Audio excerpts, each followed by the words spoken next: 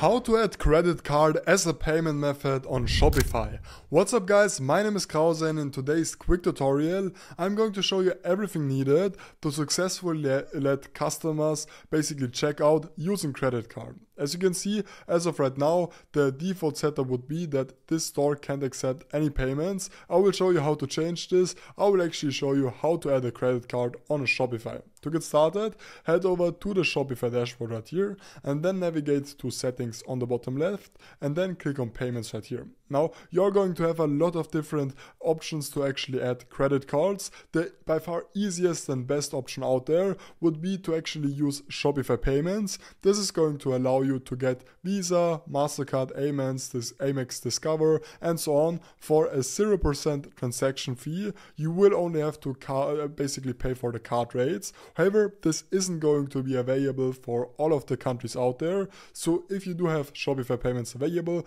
great, make sure to just complete the account setup right here. It is super self-explanatory. However, if you don't have Shopify payments available, just make sure to click on add payment method right here.